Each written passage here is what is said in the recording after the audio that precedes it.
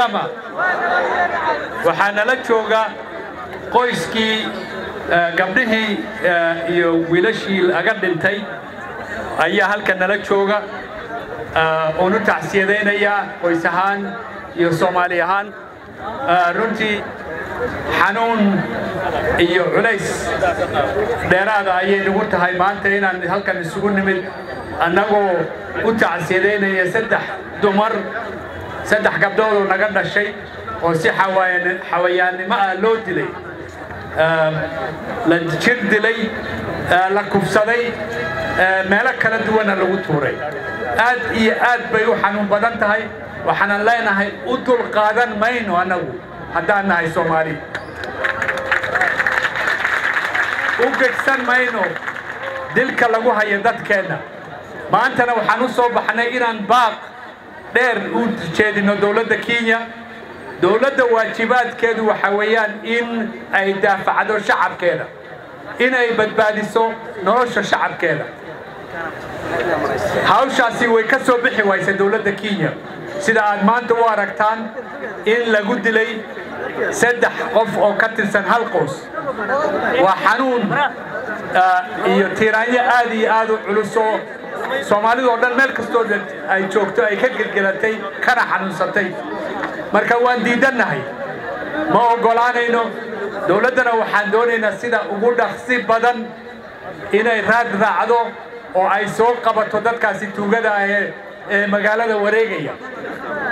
Nimankaasi dhowr waa niman gaang ahoo wada tashaday. Saddex meelood bay meydka ku tuureen.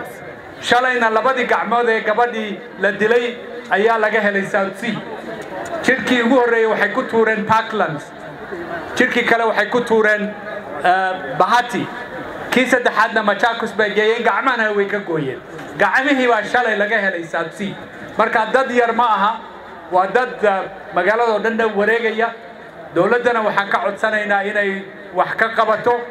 Anigii iyo senatarka nairobi edwin sufina oo ila socda waxaan iminka ka soo baxnay taliyaha guud ee biliiska wuxuuna noo sheegay in uu ay ku daba jiraan oo laba tiim oo baaritaana ay iminka hawshaasi waddo.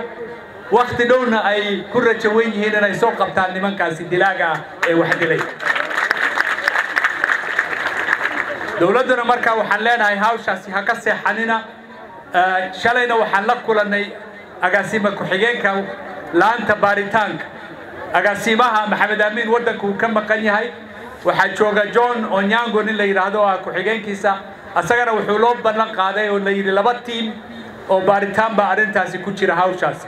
Marka waxaan rajaynaynaa si degdega in arrintaasi loo soo afjaro oo dadkaasi la soo qabto.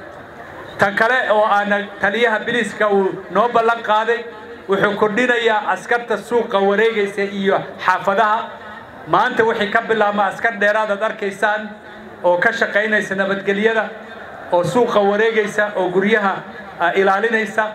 Waxaanan ka codsanayaa dadku inaanay inaba walbahaar amase cabsi aanay gelin. Hawshooda ay sidii horeeto u sii wataan. Laakiinse aan bixinno digniin. Digniin kama dambaysa haddaan nahay shacbiga soomaaliyeed ee waddankan ku nool iyo khaasatan islii. Inaan u soo jeedsanayno daafacaadda dadkeenna daafacaadda nolosha dadkeenna iyo danaha dadkeenna. Oo mar kaleeto aanan annaba marnaba u dulqaadanaynin oo aan dhanac kale u sii jeedsanaynin haddii aan wax laga qaban dadkaasi wax dilay oo aan la soo qaban sida ugu dhaqsi badan. Marka waxaan idin leeyahay waad mahadsantihiin waxaanan u tacsiyadaynayaa gabdhaha iyo wiilasha reerka laga dhintay waxaanan leeyahay samir imaan hala ilaahay ha siiyo. Gabdhihii la dilayna ilaahay jannadii firdowsaha ka waraabiyo